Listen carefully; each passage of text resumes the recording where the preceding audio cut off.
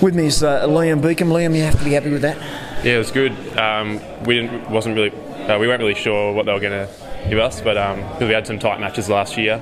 But um, yeah, it was good to get out on top early and uh, held that lead the rest of the game, so it was good. Were you a little bit surprised? I mean, on the scoreboard, the scoreboard looked like it was an easy win.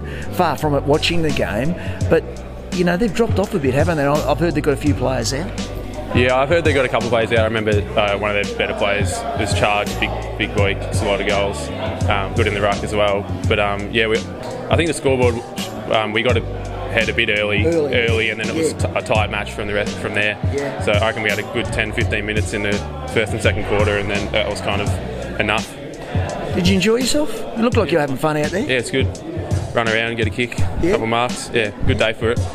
No rain. Well, the funny part about it is a couple of players said it was too cold, and other other, other people said it was No, great. it's good. Do you prefer the cooler? Oh yeah, 13, 14 degrees, good. Only if you start getting close to 20, you get a bit hot. I think sunburn maybe. And the thing I love about the, the footy, and you're so this this sort of footy, you're so close to the players. You can hear what you're saying to each Yeah. other. You can hear what you're saying to the umpires. You have, you have a pretty good rapport with the umpires. It surprised me.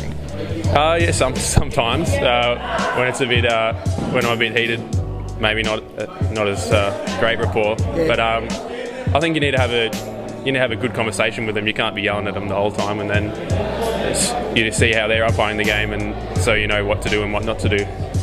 It was a pretty low key celebration. Don't get me wrong. I know we're only a couple of games into the season, but you guys seem very focused, and you're not sort of getting too far ahead of yourself because you know you've got a big game against Narre Warren coming up. Yeah, we. I don't think we want to celebrate too hard because we haven't.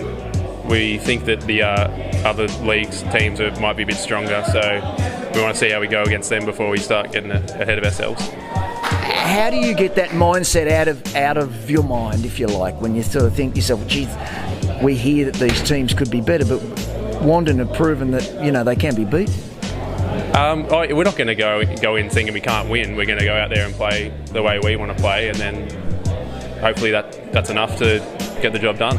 Yeah, well, I've watched the league last year, and I've watched your league. I tell you what, there's not a hell of a lot in it. So I reckon, uh, especially uh, Upwey, I reckon Upwey could surprise a few people this year.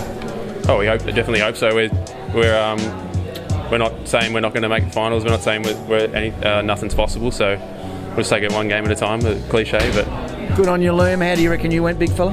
Yeah, all right. Floated around and took a couple grabs. He's very laid back. isn't? I just floated around, had a bit of fun, had a kick. Yeah, did okay. We won by, what did you win by 45, 50? I don't know. Uh, well done. Congratulations. And no doubt we'll catch up during the year. And good luck uh, against Narre. Thank you.